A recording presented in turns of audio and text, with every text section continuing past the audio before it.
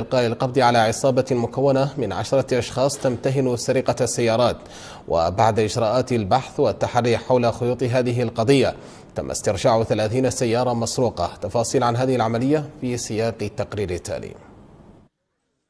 الأجهزة الأمنية الوطنية تجسد من جديد حرصها على سلامة وأمن المواطنين وحماية ممتلكاتهم والسهر على راحتهم وأمنهم. هذه المرة تمكنت المفوضية الخاصة بالشرطة القضائية التابعة للإدارة الجهوية للأمن بولاية نواكشوط الغربية من أن تسقط في قبضتها أفراد عصابة مكونة من عشرة أشخاص مختصة في سرقة السيارات في العاصمة وبيعها في مختلف ولايات الوطن. وجاءت هذه العملية العملية بعد تحر دقيق وتشكيل فرق للبحث حول القضية مكن من استرجاع قرابة 30 سيارة مسروقة. سجلت بعض مصالح الشرطة في الآونة الأخيرة عدة إبلاغات لضحايا وقعوا عرضة لسرقة سياراتهم واختفائها في ظروف غامضة. ونظرا للاختصاص النوعي للمفوضية الخاصة بالشرطة القضائية تم تنفيذا لتعليمات السيد المدير العام للأمن الوطني تشكيل خلية بحث تحت إشراف النيابة العامة وبتعطير مباشر من الإدارة الجهوية لأمن ولاية نواكشوط الغربية. وكيلت لها مهمة جمع المعلومات والبحث والتحري عن أي خيط محتمل قد يقود إلى فك لغز سرقة السيارات الذي شغل بال القائمين على الشأن الأمني. وبحمد الله وتوفيقه قاد البحث إلى وضع اليد على طرف الخيط الذي أفضى مؤخرا إلى اعتقال عصابة إجرامية مكونة من عشرة عناصر. تم اعتقالهم متفرقين في نواكشوط وبعض المدن الداخلية. هذه العصابة اعترفت بمسؤوليتها التامة عن سرقة العديد من السيارات وبيعها في بعض الولايات الداخلية بعد طمس بعض بياناتها الاستدلالية لتباع على أنها غير مجمركة نتج عن التحقيق مع العصابة استرجاع ما يزيد على ثلاثين سيارة مسروقة.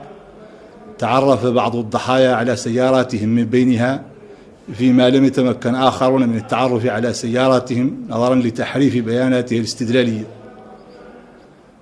كما تم وضع اليد على سيارات أخرى في كل من روسو سيلي بابي القصيبة تنبدغ ركيز في انتظار استقدامهم إلى نواكشوط العصابة توجد حاليا قيد التحقيق في مباني المفوضية وستتم إحالتهم ورا اكتمال مسطرة البحث معهم.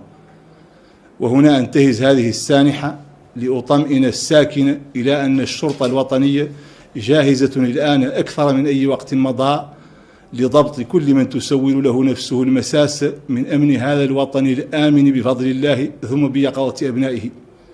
ملاك السيارات الذين تعرضوا لعمليات السرقة عبروا عن تثمينهم للجهود الأمنية في هذا المجال وطالبوا بتعزيز دور الشرطة في نشر الأمن.